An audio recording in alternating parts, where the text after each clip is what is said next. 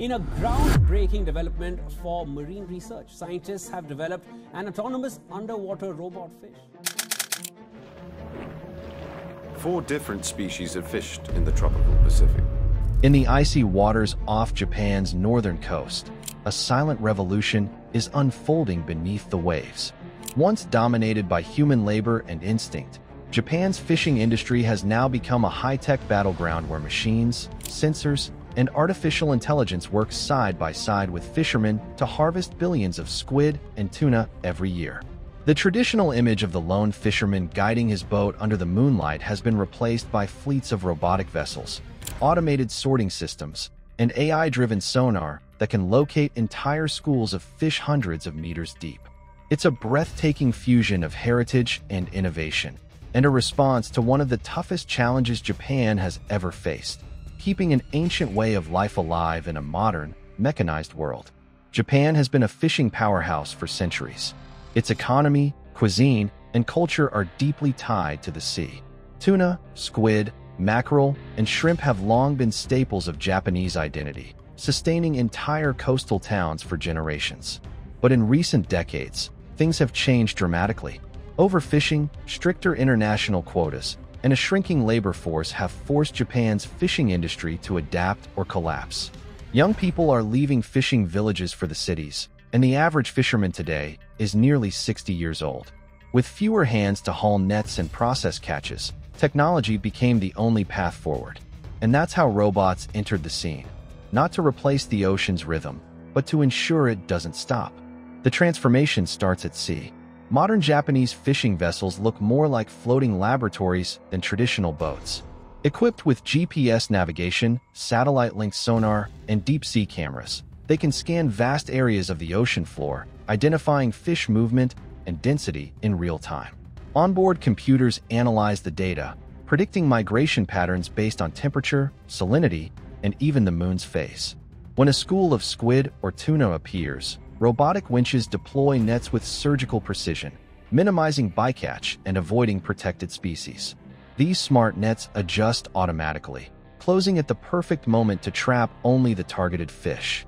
At the heart of these operations are AI systems trained on years of oceanic data.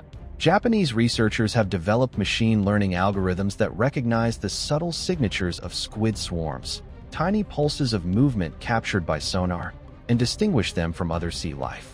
For tuna, the technology goes even further. AI-assisted drones and underwater robots trail the schools, guiding ships to optimal fishing zones and reducing wasted fuel. The result is astonishing efficiency. Some fleets have doubled their catch rates while cutting operating costs by nearly half, all while reducing their environmental footprint. But the automation doesn't stop once the fish are caught. The real marvel begins when the boats return to port. In coastal hubs like Hachinohe and Kagoshima, enormous robotic processing facilities handle thousands of tons of seafood daily. As the ships dock, cranes unload the catch into massive sorting lines. Each fish is scanned by 3D cameras that measure size, weight, and even surface texture. From there, robotic arms pick up individual tuna, placing them onto conveyor belts with near-perfect accuracy. These machines can handle up to 300 fish per minute, operating with precision that no human could sustain for long hours. In the squid processing plants, automation has reached near total dominance. Once, hundreds of workers spent their days cleaning, gutting, and slicing squid by hand, a labor-intensive job that was wet, cold, and exhausting. Now, robots equipped with high-speed blades and sensors do it faster and cleaner. A single machine can process over 1,000 squid per hour, removing the beak, eyes, and ink sac in one seamless motion. The squids are then flash frozen or vacuum sealed for export, often within hours of being caught. Japan exports thousands of tons of processed squid annually, much of it bound for China, South Korea, and the United States, where it's prized for its freshness and consistency.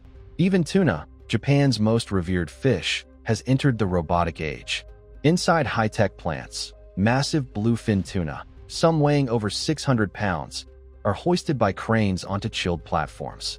Robotic saws make perfect cuts through the frozen flesh, slicing it into sushi-grade portions while minimizing waste. The process used to take teams of butchers hours to complete but automated systems now do it in minutes, guided by lasers that map the internal structure of each fish to maximize yield.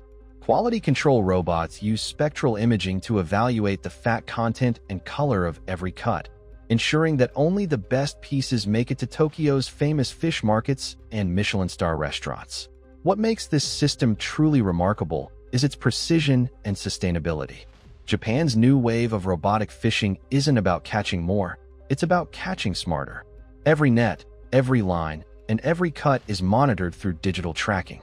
The government's fisheries agency has partnered with tech firms to build nationwide databases that track each fish from ocean to plate. This traceability not only prevents illegal fishing, but allows consumers to scan a QR code at the supermarket and see where and when their fish was caught. It's a level of transparency that strengthens Japan's reputation for quality and ethics in seafood production.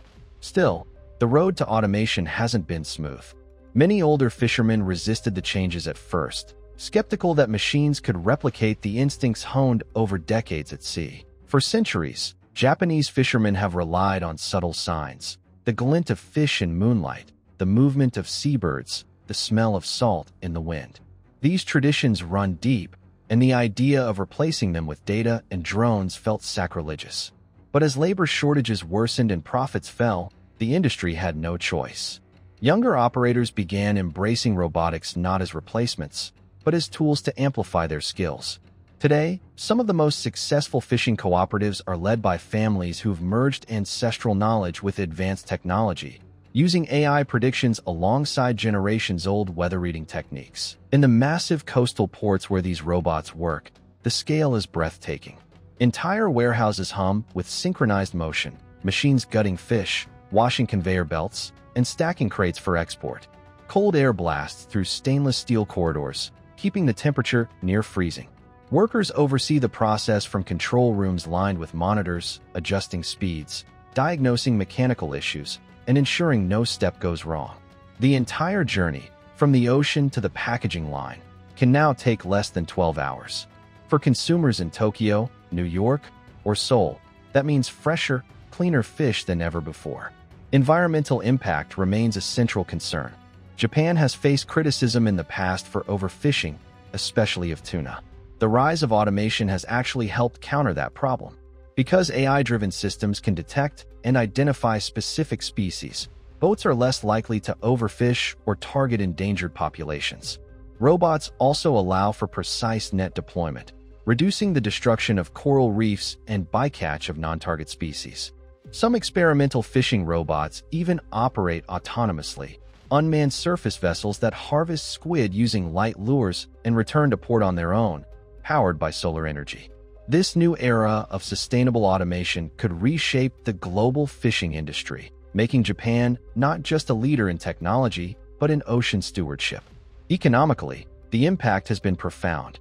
The fishing sector, once struggling with declining labor and profits, has found new life.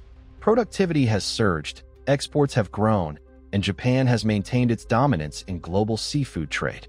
Robotic systems are expensive, some costing millions to install, but the return on investment comes quickly.